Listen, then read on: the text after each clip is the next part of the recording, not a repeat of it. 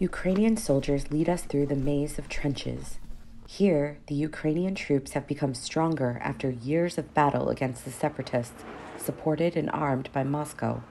Barely 50 meters away, the enemy is also watching us. As the soldiers who serve here see it, the war is against Russia and the very survival of Ukraine is at stake. There has been talk of a possible invasion for a long time. We are in our land. We do not intend to leave it. Despite the almost daily exchange of fire on this line of contact, Ukrainian forces consider the situation under control. Ситуація стабільна. The situation is stable. It is under control. If the enemy begins an escalation of the conflict, we will be ready for any change in the scenario.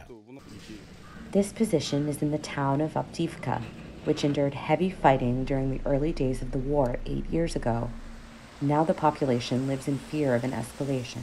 This is the city's military supplies store, which opened before the war. We spoke with the owner, Natalia, who, like all the residents, asked to withhold her surname. She confesses that she fears a new, full fledged conflict. People are nervous, worried, especially because we're in this area.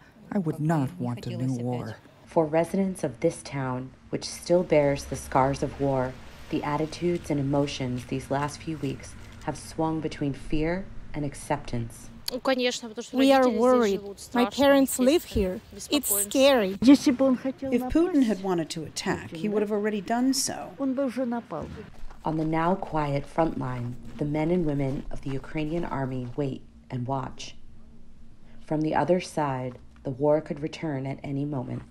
For Ricardo Marquina in Avdiivka, Ukraine, Elizabeth Cherneff, VOA News.